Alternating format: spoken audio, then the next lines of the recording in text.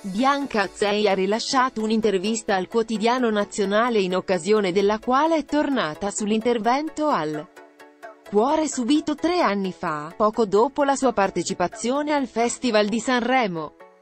Non ha mai parlato di quell'episodio quando era all'Isola dei Famosi e ancora.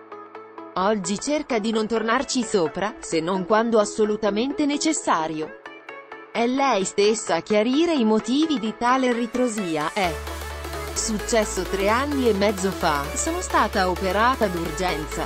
Ero al mio primo Sanremo. Un giorno mi sono sentita male, avevo una forte tachicardia e un'aritmia. Chi era con me mi diceva che era l'agitazione, l'ansia, lo stress, ma io sentivo che c'era qualcosa che non andava. Mi hanno portato in ospedale e operato d'urgenza, ho rischiato molto. Adesso ho una protesi nel cuore. Ho affrontato anche questo, ma non voglio parlarne troppo perché non sembri che voglia sollecitare un facile pietismo. Bianca ne approfitta inoltre per fare chiarezza a proposito del presunto flirt in corso con Jonathan Kashanian. I due hanno stretto un rapporto d'amicizia quando entrambi sono partiti per l'isola dei famosi, restando insieme in Honduras fino all'ultimo giorno.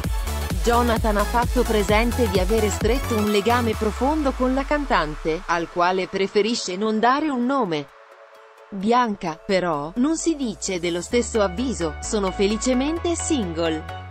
L'amore finito con Max Biaggi Le ultime battute sono per Max Biaggi, quell'ex fidanzato al quale è stata legata per anni, restandogli vicina anche nel momento più difficile della sua vita.